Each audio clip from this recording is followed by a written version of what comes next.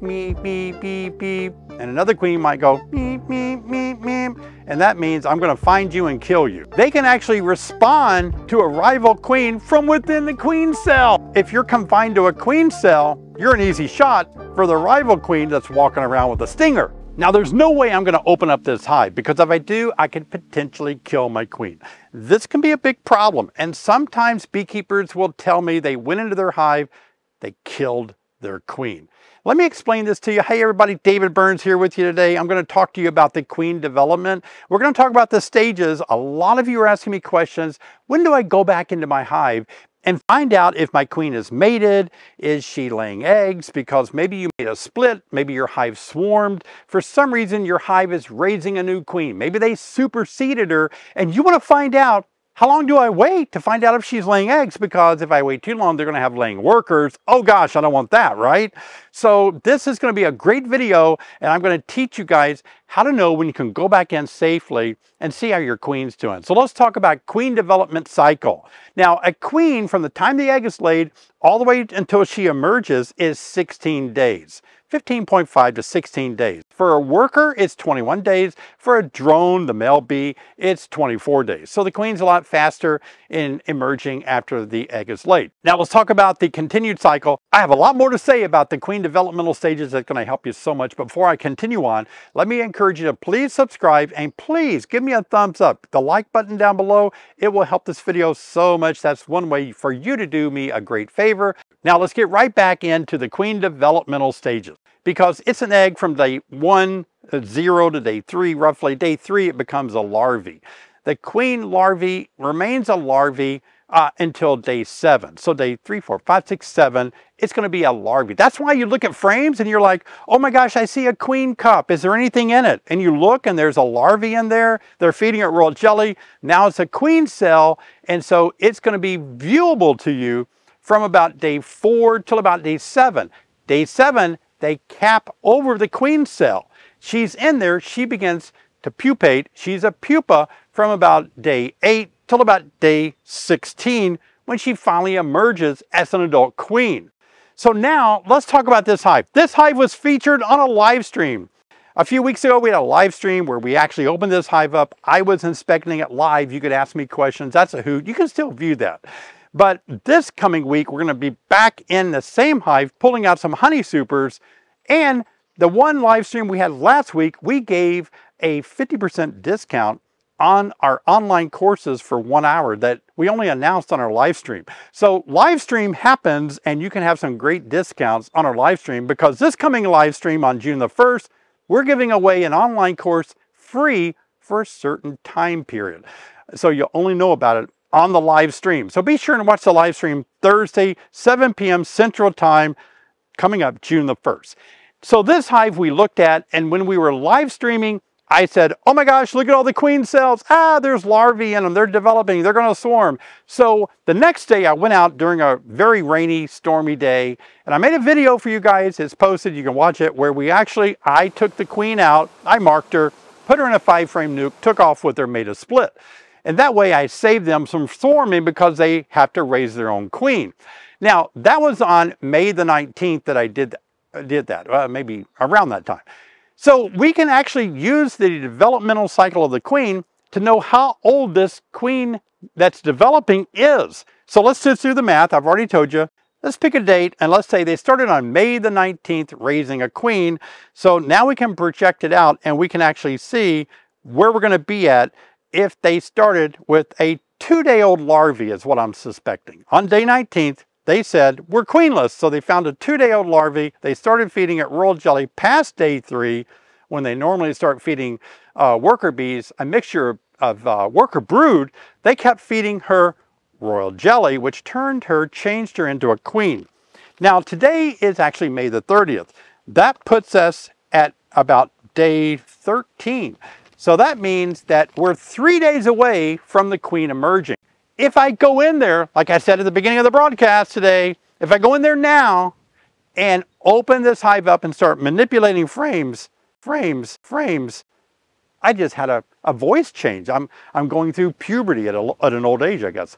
But if I go in there now, separate the frames, what happens is the queen cell can it's actually hanging adjacent to the actual frame, the actual comb. It's, sometimes it's attached to it, but usually it's hanging uh, perpendicular to the actual comb itself.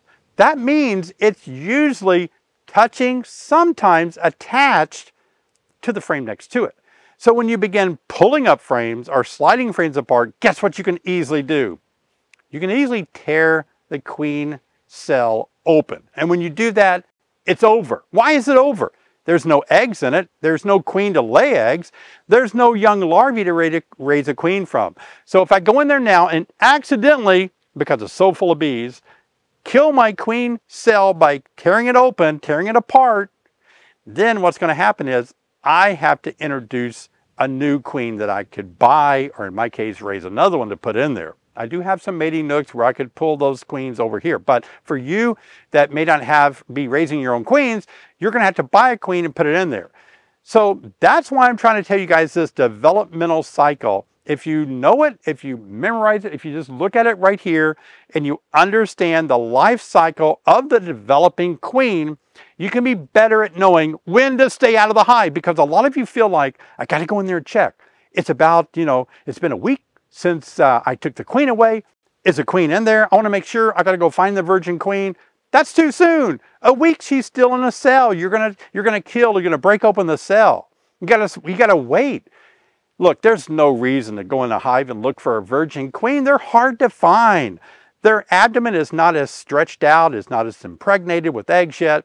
And she's a runner. She's running everywhere. She could be on a mating flight. So many people call me and say, it's been two or three weeks. I don't see my queen. I don't see a virgin queen. You know what? She's probably a virgin queen on a mating flight. Uh, did you inspect it between 11 and 4? That's when they go out on a mating flight. Wait until about 6 o'clock at night when they're back and you can see if she's made it. But let me take you through the rest of the exciting venture of a queen. On day 16 when she, um, when she emerges, what does she do? Does she leave immediately on a mating flight? Absolutely not.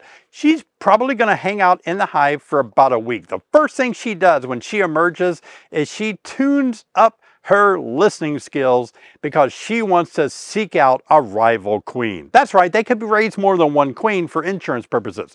And so they use a piping noise that sounds like this. Let me clear my voice. Meep, beep, beep, beep. And another queen might go, meep, meep, meep, meep. And that means I'm going to find you and kill you. Do you know that a queen can pipe even in a cell? Yeah, after about day 13 or 14, 15 maybe, they kind of come to life while they're still in the cell because they have to eat their way out, right? They can actually respond to a rival queen from within the queen cell. They can sit there and bop, bop, bop, bop. And guess what happens? If you're confined to a queen cell, you're an easy shot for the rival queen that's walking around with a stinger. Queens don't, I've never been stung by a queen. I've handled thousands. Queens use their stinger, which is not as barbed as a worker stinger, to actually pierce through a rival queen in the cell and kill her. Oh, it's, you won't believe what's going on in there. Let's listen. It's like a war zone. I mean, it's sniper shots being taken at rival queens in there. So that's what she does. First few days when she's out, she tries to hunt down and kill any competitor queens in the hive. Now you see this more often in swarm cells, not so much in supersedures because sometimes you only have one supersedure cell. Another reason she doesn't take a mating flight immediately is because her wings aren't hard enough to fly. They're still kind of developing, uh, getting harder, you might say. So she's not ready to take a flight until about another week. So she's going to walk around in there as a virgin. So as a virgin queen, she's walking around and really nobody cares. The other bees don't care. And so she'll just kind of fly out and around her hive that week, kind of learning her orientation, kind of learning where she's at, orientation flights for about a week before she's going to take off on a mating flight. Now, on or around about 22 days after the egg was laid, the queen will take her mating flight. Now, she's going to fly further away than her half-brothers can follow her. Uh, some people say, you mean her sons? She's a virgin queen. She doesn't have any sons. Those are her half-brothers. She's going to fly far enough away where the drone congregation where she finds other drones, they're not interbreeding uh, with her from her own half-brother drones here, you see. So she flies further away. We don't really know how she finds those drone congregation areas. She seems to leave with some other uh, squadrons of scout bees that maybe know where they're at. They take, maybe the scout bees take her there or something, but she knows where to go to get mated by drones that aren't from her own hive on or around day 22, she's gone for about 17 uh, minutes roughly, and she'll mate with over 20 drones, a few seconds on each drone mating with her. And once she's fully mated with 20 to 40 drones, she flies back into the hive with the last drone genitalia still in her abdomen, and that's called a mating sign. Now, sometimes when this queen will take her virgin mating flight, her nuptial flight it's called, Actually, the bees kind of get a little concerned and a little charged up. They will actually swarm with her. But she goes on to mate, and now this big, well, it's not really always big, but this swarm actually can exist outside the hive. Usually they go back in when they realize there's no queen. But you can actually have these virgin swarms happen when a virgin goes out on a mating flight. Now, if you happen to catch all this, you're watching it, you're, you know what to look for. Once she takes out mating flight, you'll see a lot of bees on the entrance spraying Nasonov gland located in the rear part of their abdomen. They'll spray this Nasonov gland up in the air and it's a scent to help guide mama home. They're all kind of worried. Oh, will she make it? Will she be eaten by a dragonfly or a bird? Will she get trapped by a thunderstorm, a pop-up thunderstorm? Is she going to make it? They're kind of worried. It's 17 minutes of real intense worry because without mama coming back, the hive knows they're doomed. Isn't that, it's crazy, isn't it? You need to know this developmental sequence of your queen so that you can understand when to start looking for eggs and know it's safe to look for eggs. So after this day 22, when she goes out on a mating flight, she may take one mating flight and that would be plenty. She has the capability of going out on one or two more mating flights if she so chooses. Usually one is sufficient and all they do. Now, once she's mated, all the sperm from the 20 or 30 or 40 drones that she mated with gets stored in her organ called a spermatheca for her entire lifetime. So we feel that most queens don't live past three or four, maybe five years at the most. And so she's able to lay or fertilize these eggs that she's laying with the stored sperm from the drones. She never has to mate again. She'll never leave the hive again unless they choose to swarm next year. She will be the mama that goes out on the swarm. The older queen that's proven herself to be a layer uh, will go out in the swarm while the hive raises virgin queens like we're talking about today. That brings us on to about day 29. Maybe a week or so after she's mated, she'll begin laying pretty consistently. So it's going to take 30 days, 30 days from the time they take an egg and they raise a queen and she gets mated and starts laying 30 days before you're really going to see eggs. Now, this is not an exact science. It can be off by a day or two, of course, but in general, so you have to be patient. And a lot of times people tell me, David, I want to go see if my queen's laying yet. It's been 30 days. You know what? Wait another week. You'll see larvae easier to see because a newly mated queen lays kind of sporadically. And sometimes what people don't realize is a newly mated queen that starts laying can actually lay a couple of eggs in a cell and people panic and think they have a laying worker. It's not on the walls and it's not multiple, but she can go back and hit the same spot with another egg. And so you may have two eggs. Well, eventually the other workers just cull one out and there's one in there. So don't be panicky if your queen starts laying and you start seeing more than one egg in a cell. A brand new queen that's just mated can certainly probably do that for a few days. But once she's mated, once she has her ov ovaries or ovarioles filled up with eggs, she'll start laying very consistently. So if you wait about 45 days after that egg was laid, then you can know when to safely go in here. So for me, today's uh, May the 30th. I'm not going to go in there because it's going to be three or four days before my queen even emerges. And after that, it's going to be a week before she takes a mating flight. After that, maybe another week before I see eggs, I'll keep you posted. I'm gonna try to stay out just a little while and let that queen mature. Again, if I go in there now, I'm so afraid I'm gonna break open that queen cell. I'd rather get the genetics from the queen I took out by not having to introduce a new one. I want her genetics from her mother because this hive rocks, people, it rocks. Have you ever heard the Queen developmental stages explained with this much accuracy and excitement? Well, I hope I've helped you out.